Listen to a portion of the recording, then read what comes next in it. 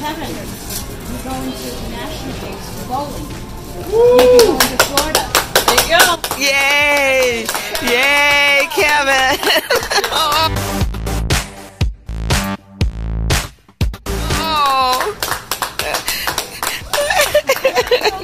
Boss and your fellow employees got your cake. It says Good Luck Kevin. It's got bowling pins on it. Oh. Yeah.